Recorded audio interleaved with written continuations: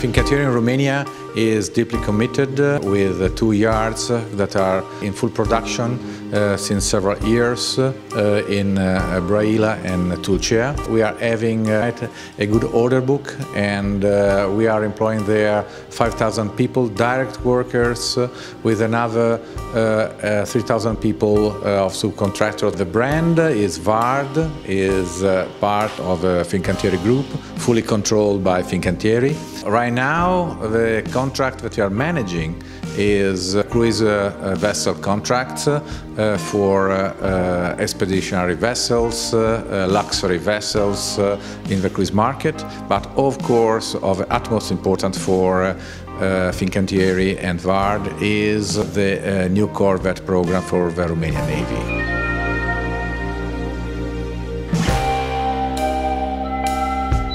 We had to propose uh, a baseline configuration, at least as a reference uh, at the very beginning. Abu Dhabi class was uh, uh the original starting point. The configuration uh, allowed us uh, to be qualified among the tenderers.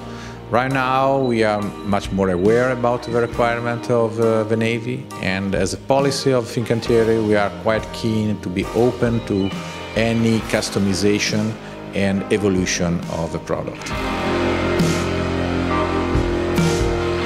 If you look at a portfolio of our products, MBDA is uh, for sure one of uh, uh, the usual partners. The basic configuration of Abu Dhabi class and other ships are including MBDA.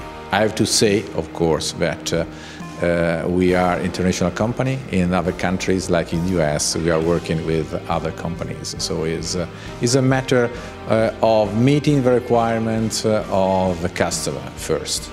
Uh, we are in a position to uh, provide uh, uh the best quality and uh, uh, to meet the tough schedule that has been proposed to us, taking advantage of both yards. of course, we have to consider a sort of work share in terms of production.